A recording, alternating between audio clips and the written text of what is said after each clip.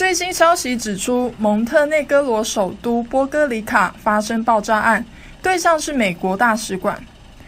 根据蒙特内哥罗政府发出的公告指出，昨天午夜，一位不明男子先是朝美国驻波哥里卡大使馆的建筑物丢掷爆裂装置，之后引爆第二颗炸弹自杀。由于事发时大使馆已经关闭，因此未造成任何人员伤亡。基于安全因素，使馆员工也被告知隔天不必前往工作。